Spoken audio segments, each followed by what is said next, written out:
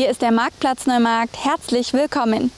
Wenn in einer Gegend eine neue Stromtrasse gebaut werden soll, gibt es normalerweise vorher vor Ort Termine mit betroffenen Anwohnern. In Zeiten von Corona wird dieses Prozedere nun ins Internet verlegt. Und einige Gegner der geplanten Juraleitung finden, dass die virtuellen Dialoge eigentlich eher Monologe sind. Die gelb-roten Kreuze, mit denen gegen die geplante Juraleitung demonstriert wird, findet man in Dietfurt an fast jeder Ecke. Aber selten sind sie so groß wie dieses. Mit diesem Aufbau simulierte die BI Dietfurt die enorme Größe eines Strommasten. Wir haben die BI Dietfurt äh, hier im Oktober 2018 gegründet, gemeinsam.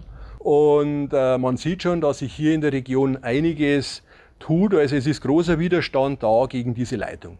Eine Handvoll Trassenkritiker traf sich letzte Woche in Eisenschenks Küche zu einer ungewöhnlichen Form der Bürgerbeteiligung. Trassenplaner Tenet hielt eine Infoveranstaltung per Livestream ab. Ich erwarte mir da, dass einfach wichtige Informationen zu den Bürgern kommen und ich habe da auch einige Fragen vorbereitet mit unserer BI und hoffe, dass diese Fragen während des Webinars auch beantwortet werden, fachgerecht. Wer eine Frage stellen wollte, musste schnell sein. Erst 15 Minuten vor Start des Webinars durfte man sein Anliegen in ein Formular tippen. Alle diese Wortmeldungen landen hier bei uns. Wir werden diese vorsortieren, thematisch clustern und dann versuchen, möglichst viele Ihrer Fragen an unsere Fachexperten und Fachplaner vor Ort weiterzugeben. Hier wurden die Unterschiede zu einem Vororttermin besonders deutlich. Sag, wenn es jetzt eine öffentliche Veranstaltung wäre und müssten alle Fragen in einer Diskussion beantwortet werden, so weiß man ja nicht, welche Fragen eingehen. Wir wissen zwar, welche wir eingesandt haben, aber ich sehe das als keinen fairen Austausch, weil die wirklich wahrscheinlich nur die leicht zu beantworteten Fragen nehmen werden und die unangenehmen werden bestimmt während des Webinars nicht behandelt werden. Im weiteren Verlauf der Veranstaltung wurden aber durchaus auch kritische Fragen thematisiert. Zum Beispiel der Vorwurf, die Juraleitung würde den Landkreis nur durchkreuzen, aber nicht versorgen. Tatsächlich speist sie jedoch eine fast parallel verlaufende 110 kV-Trasse diese 110 kV-Leitung, die hat in der Tat Anbindungspunkte in Riedenburg, in Dietfurt, ähm, in Neumarkt und noch ein, zwei andere Stellen, um dort eben auch regional zu versorgen. Je länger der Livestream dauerte, desto länger wurden die Gesichter bei den Trassengegnern. Bürgerbeteiligung in dieser digitalen Form stieß bei ihnen nicht auf Gegenliebe. Als Teilnehmer hat man wenig Überblick. Man weiß auch nicht, wie viele Leute das überhaupt an dem Webinar teilnehmen, wie viele Fragen gestellt werden. Da heißt es ja nur immer, die müssen es auswerten, müssen es auswerten, was dann im Hintergrund abläuft. Ihre Fragen sind nicht verloren. Im Nachgang der Veranstaltung wird auf jeden Fall Tenet auf Ihre Fragen eingehen, zumindest auch in einem Fragekatalog. So. Der Kampf um die Juraleitung wird also weitergehen. Digital und, wenn Corona es erlaubt, im Herbst auch wieder vor Ort. Da, wo die Kreuze stehen. Leider müssen wir an dieser Stelle vermelden, was einige schon befürchtet hatten. Das Covid-19-Virus hat uns noch nicht für immer den Rücken gekehrt. Nachdem im Landkreis rund drei Wochen lang keine Neuinfektionen gemeldet wurden, gab es Ende der letzten Woche drei neue Fälle. In einer Kindertagesstätte in Sengenthal wurden nun zudem eine Mitarbeiterin und zwei Kinder positiv getestet. Die Einrichtung bleibt vorerst bis 10. Juli geschlossen. Die Familien der dort betreuten Kinder werden der Reihe nach auf Corona untersucht. Und jetzt gehen wir kurz in die Werbung und danach zeigen wir Ihnen, dass eine Zwangspause auch manchmal etwas Gutes hat. Zumindest die ASV-Tennisdamen konnten gestärkt in die Bayernliga starten. Außerdem kreatives Schneiden. Jörg Heiler zeigt uns, wie jeder Gemüseteller zum Hingucker wird. Das und mehr gleich. Ein Kloster kann nicht nur ein Ort der Ruhe sein. Von Fachtagungen über Betriebs- und Weihnachtsfeiern bis hin zu Familienfesten. St. Josef in Neumarkt bietet für Ihre Veranstaltungen das passende Ambiente. Hier finden Sie moderne Seminarräume, gemütliches Flair, grüne Oasen, Kulturangebote und komfortable Unterbringungen für Ihre Gäste. Das Tagungs- und Gästehaus der Schwestern vom Göttlichen Erlöser im Kloster St. Josef in Neumarkt. Wo kauft man Citroën? Na bei Autohaus Müller in Neumarkt, Ihrem Fachhändler mit Familientradition. Top Werkstattservice, kompetent und super freundlich. So urteilen unsere Kunden. Autohaus Müller, Ingolstädter Straße 86 in Neumarkt. Kommen, kaufen, glücklich sein.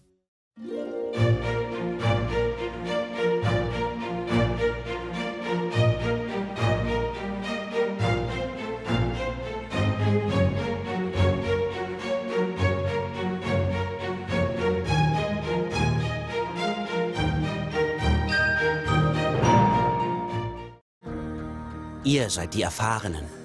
Ihr habt schon viel erlebt und noch mehr vor. Und wir sind die Banken mit über 170 Jahren Erfahrung, die euch bei allen Fragen zur Seite stehen. Gemeinsam schauen wir nach vorn und sagen, morgen kann kommen. Wir machen den Weg frei. Die Einkaufsstadt Neumarkt lädt ein. Zum großen Schnäppchenmarkt am 4. Juli in der Neumarkter Innenstadt und im Stadtquartier Neuer Markt. Ab 9 Uhr erwartet alle Schnäppchenjäger wieder eine große Auswahl toller Angebote und satter Rabatte. Mehr Informationen unter einkaufsstadt-neumarkt.de. Weil daugreche alles.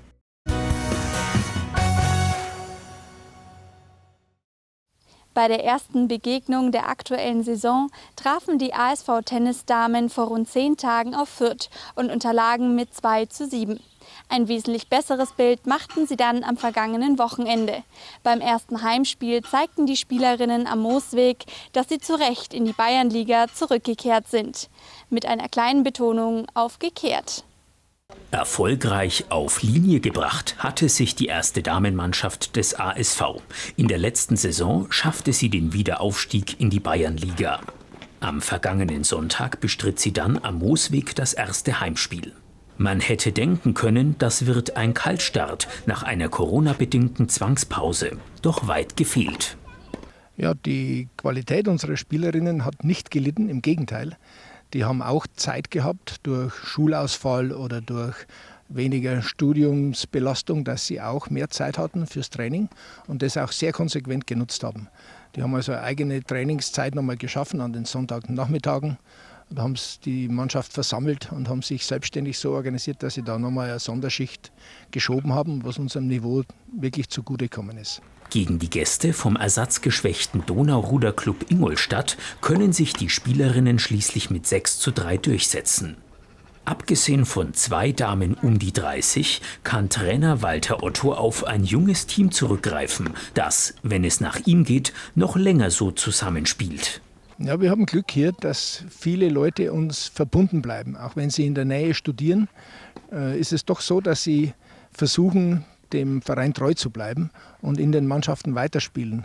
Es ist also nicht so, dass die praktisch mit Vollendung oder Abschluss des Abiturs dann sofort weggehen und nicht mehr zurückkommen. Also wir haben einen sehr hohen Anteil von Spielern und Spielerinnen, die uns treu bleiben, auch wenn sie etwas weiter weg studieren.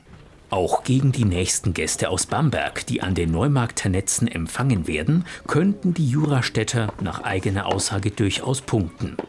Die Wochen, in denen am Gelände keine Bälle fliegen durften, haben die ASVler für Ausbesserungsarbeiten an der Anlage genutzt. Nun können sie auf den aufgehübschten Plätzen voll durchstarten.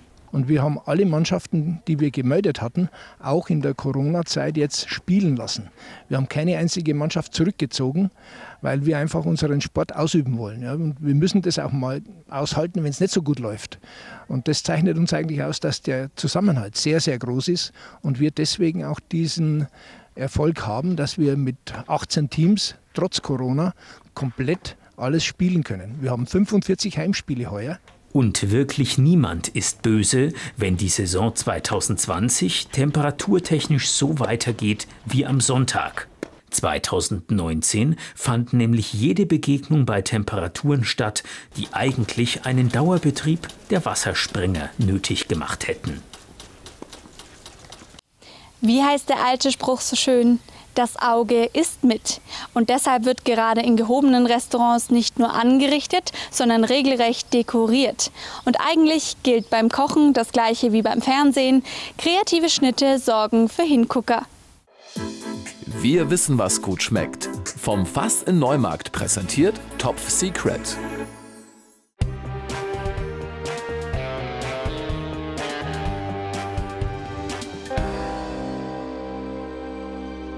Servus, heute zeige ich euch, wie man aus Paprika richtig schöne Würfel schneidet oder wie man die auch einmal äh, das Innenleben rausbastelt, rausschneidet.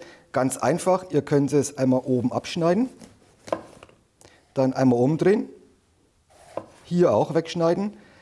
Das da braucht man nicht wegschmeißen, das kann man dann später noch in Würfel schneiden oder so oder essen direkt oder in einer Suppe oder Soße mit verkochen.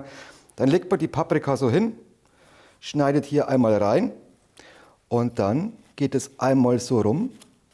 Dann ist das Kerngehäuse heraus und so weit. Auch das Weiße, weil es kann sein, dass es manchmal bitter ist. Legen wir hierher. Und dann die Paprika einfach in so Stücke schneiden. Und dann kann das losgehen. Und zwar kann man dann richtig schöne Würfel schneiden, weil die Paprika selbst liegt dann schön gerade da. Und es geht recht gut und recht einfach. Wer möchte, kann die Paprika auch vorher schälen. Also, weil die Paprikaschale selbst ist für den menschlichen Körper nicht verdaubar. Also, ähm, das ist auch das, was immer so ein wenig aufstößt, wenn man Paprika isst. Und ihr könnt es auch da, schaut her, einfach so, ja, so Streifen oder Stäbchen schneiden. Dann, was auch immer ganz schick ist, so ein bisschen als, als Gemüsevariante oder als Schnittvariante, ist, wenn man dann die Paprika in so wir in Bayern sind, Rauten schneiden, no? Oder auch ganz feine Streifen würde auch gehen, also in dem Fall dann so. Ich zeige euch das mal so. Einmal schön in Streifen geschnitten und somit habt ihr auch äh, einfach eine schöne Schnittform auch und ich glaube, das ist ganz einfach und wie gesagt, diese Abschnitte könnt ihr dann irgendwo in eine Gemüsebrühe mit reinmachen oder halt eben gleich essen. Viel Spaß beim Nachmachen und sehen uns nächste Woche wieder. Wir wissen, was gut schmeckt. Vom Fass in Neumarkt. Jetzt wieder geöffnet.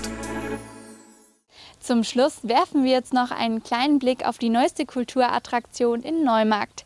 Seit letzter Woche lockt am Volksfestplatz das neue Autokino, welches vom Club K3 und vielen Partnern und Sponsoren auf die Beine gestellt wurde. An allen Tagen außer montags gibt es dort nun ein Programm, welches sich vom eigenen Fahrzeug aus bequem verfolgen lässt. Geboten werden Filme für viele Altersgruppen und Geschmäcker, aber auch Live-Auftritte von Bands und Kabarettisten gehören dazu. Und schon am ersten Wochenende konnte man beobachten, wie es sich die Besucher in ihren zu Kinosesseln umfunktionierten Autositzen bequem machten. Für filmtaugliches Naschzeug sowie deftige Kost ist am Platz übrigens gesorgt. Außerhalb der Fahrzeuge herrscht allerdings Maskenpflicht. Und dank lichtstarker LED-Leinwand muss es in einem Open-Air-Kinosaal gar nicht mal unbedingt dunkel sein, weshalb auch Nachmittagsvorführungen zum Programm gehören. Und das war's für heute. Dieses Mal waren wir für unsere Moderationen in Foggenthal. Am Freitag begrüßt Sie Ulrich Badura in Endlich Wochenende. Zum Schluss gibt es jetzt noch die Wetteraussichten. Wir sehen uns. Bis bald. Wir für unsere Zukunft. Die Stadtwerke Neumarkt präsentieren das Wetter. Tiefer Luftdruck über dem nördlichen Atlantik sorgt von Skandinavien bis Norditalien für Schauer. Im Südosten des Kontinents drohen lokal heftige Gewitter. In der kommenden Nacht gibt es viele Wolken und Regen. Die Tiefstemperaturen liegen bei 16 Grad. Am Donnerstagvormittag bestimmen Schauer und lokale Gewitter das Wetter. Dabei erwärmt sich die Luft auf bis zu 23 Grad. Am Nachmittag dann ein ähnliches Bild. Die Temperaturen ändern sich kaum und es ist weiterhin mit bewölktem Himmel und Gewitter zu rechnen. Am Freitag gibt es stellenweise Wolken.